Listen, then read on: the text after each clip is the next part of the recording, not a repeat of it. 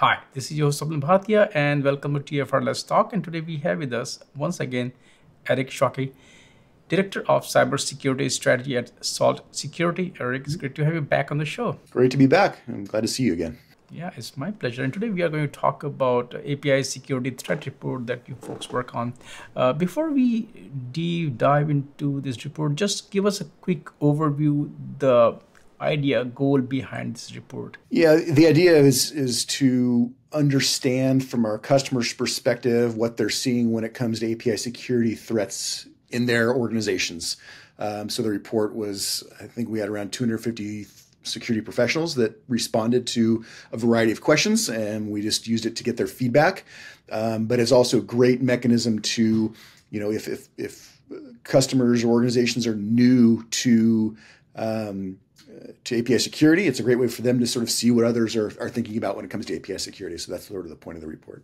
Now let's dive deep into some of the key findings. I think it was interesting because if you look at what we saw in the in the survey res- results, um, we had almost a doubling of API attacks that were recognized in the last year. So it was about 37% or so of organizations said they had some kind of attack, which was a, a big jump from from last year, right? So that's obviously problematic. Uh, we want to make sure that, that that isn't causing harm to our to our customers. Um, on the flip side of that, only about seven and a half, eight percent of respondents said they had what they considered a sort of an advanced API security solution, right? So it's a problem, right? If you have an explosion in attacks, but you don't have an advanced solution to handle that, obviously there's there's some big gaps there that we need to help uh, figure out how to how to breach and, and figure out how to how to deal with. A um, couple other interesting points, I think. Um, we talk a lot about API discovery and just understanding what your API ecosystem looks like. Um, sort of zombie APIs or unknown APIs or APIs that are just doing their own thing was another big concern. About 70% of respondents said they had this concern around zombie APIs or what they couldn't see or, or didn't know about. Um, and then again, it goes back to this thing of okay, you know, the customers have this concern, but what do they do to help mitigate that? Only 60% or so of our customers that responded said they had, or not customers, but but folks we surveyed said that they had a good way to discover APIs, right? So they have this problem of I don't even know what my APIs are, and they also don't have a great mechanism for finding those APIs within their ecosystem. So these respondents, you know, they had a, a big sort of problem uh, with that. And then finally, I think the point to make around just security in general from an API perspective is that obviously API gateways and WAFs have been around for a, a, number of years.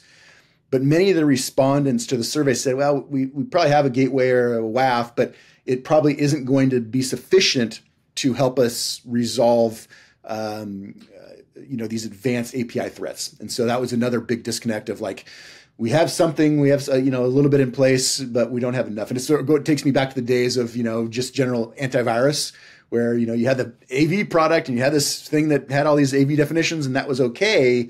But to really get those more advanced uh, type threats, you needed something more back in back back in the endpoint security days. And same thing is going now with APIs, where you know API gateways or WAFs might be okay for the standard type threats, but when it comes to the more advanced things, there's they're just not cutting the cutting the mustard beyond things like zombie APIs, what are the other concerns that you're seeing organizations face? And these are a lot of thing, a lot to do with you know the whole scale sprawl. Uh, I'm not talking about configuration and the actual you know security, but what are the other things that you're seeing which are uh, becoming a concern that you know you saw in this report? I think there's there's a couple big challenges. One is that that customers are still or organizations are still trying to understand what their ecosystem, their API ecosystem or footprint just looks like. They just don't have a, a clear understanding of that. And so that's sort of a basic level. If you don't even know what you've got to protect, how are you going to protect it? Right. And they're not they're not even at that point of understanding the full scale of their API ecosystem. And I think that problem is going to be made. And this wasn't something we surveyed on initially in this in this result. I think what we're going to do is probably do a, a secondary survey that's sort of a follow up to this. But one of the things we've been seeing recently is a really rapid increase in the proliferation of AI generated APIs, right? So it's not just developers, you know, spending some time making an API. It's like you have an AI generated API that can be made in minutes. So you're going to see that explosion even, even, even bigger. Um, so that's a big one. Just understanding what the what the ecosystem looks like, and then just and then having some kind of way to mitigate the risk associated with that is another uh, another big challenge that customers are um, or the organizations, I should say, are, are trying to uh, manage for. Um, and so, you know, when we when you have these survey respondents, these organizations responding, I think there's a lot of just, you know, I don't know what I don't know with the APIs, and even if I did know, I didn't have I don't have a great way to protect against threats that are coming after me. What is the state of API security? How much awareness is already there so that customers come to you asking for solutions versus you going to customers telling them, hey, you need to protect your API as well? I think it's more so than it would have been in the past. You know, I've I've been in the market, you know, I've been in security 20 years, I've been in API security less than a year at this point. But even in the less than a year I've been here, I'm seeing way more sort of market understanding that an API security platform is needed to, you know, really protect these things. You're seeing analyst firms take a more active stance on this, right? We're seeing Gartner is doing you know a market guide uh, on API security, and, and you're seeing other analysts from, taking a, a, bigger stance, right? So I think that's also driving the market, right? If, if a customer is seeing that, they're like, oh, geez, I, I, I do need to take a look at this, right? And so, um, and we're doing a lot. I mean, I think at Salt we've been a leader. Um, obviously, we have a great platform and all of that, but we also have a great labs team and a research team that's out there, sort of evangelizing the need for what an organization can do um, to protect against the most advanced, sophisticated API threats. And so I think that's another thing that we really want to lean in on as well. And what kind of volume of API are you seeing there? Is it also growing or it is under control? I mean, I think it's it's dramatically growing, right? And, and some of that goes back to you know AI being part of this picture. AI can generate APIs very rapidly. You can, I mean, I can go. I have no programming experience, but I can go into you know Google Gemini and say, hey, create me an API that allows me to pull customer information and load it into a uh, a customer database, and it'll do that for you in like minutes, right? So there's that as a problem. I think the other thing we're seeing is that modern applications are really foundationally built on APIs, where in the past it was like these legacy applications were their own sort of thing.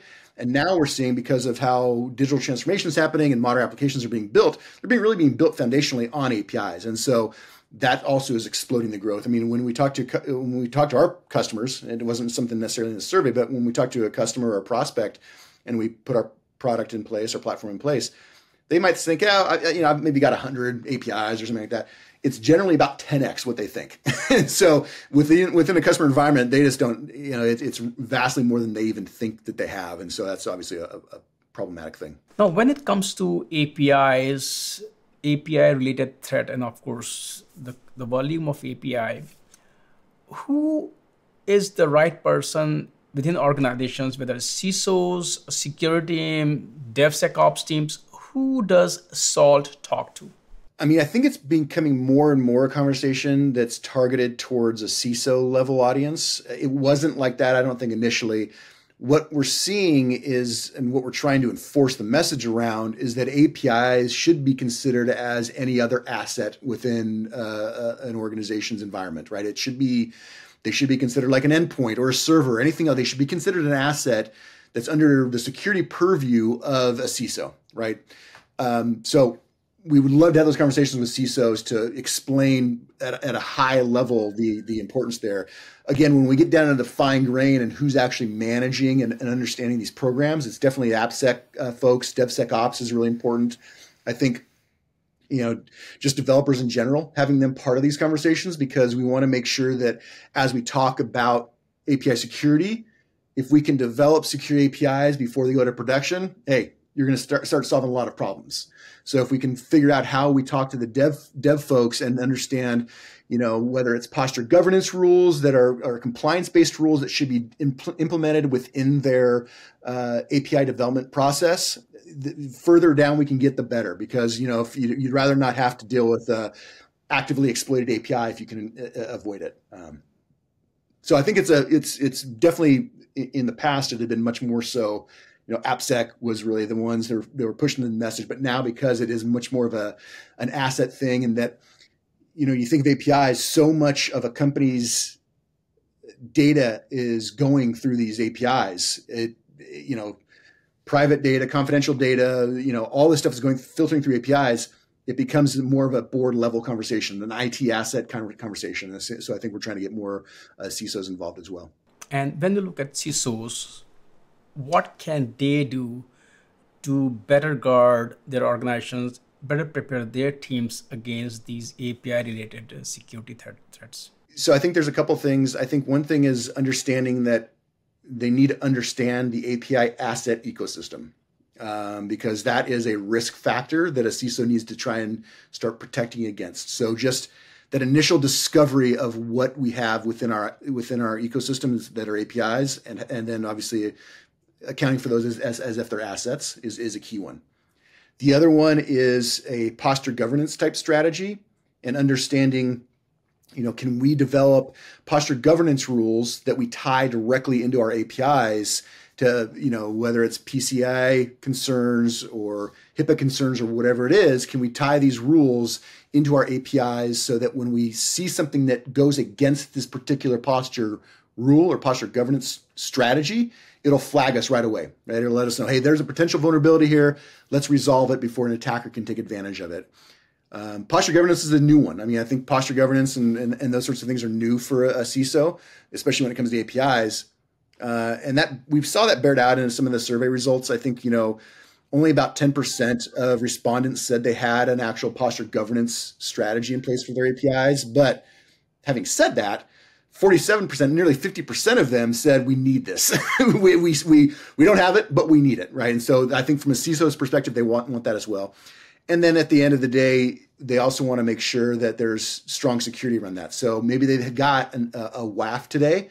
What can they do to strengthen the abilities of that WAF, right? A WAF, like we talked about before, is not going to catch the sophisticated threats. So, can you bring in an API security platform such as what Salt has that strengthens the capabilities of your existing investment in your WAF and makes it much more able to find those more sophisticated threats? So, I think the CISOs would be very interested in that as well. Eric, thank you so much for taking time out today and talk about the findings of this report. Uh, great insight as usual. I love to chat with you every time. So uh, I look forward to next discussion, and uh, I feel that you know this is a very hard space so there are a lot of things that are in the your pipeline which you cannot share now but i look forward to next discussion thank you.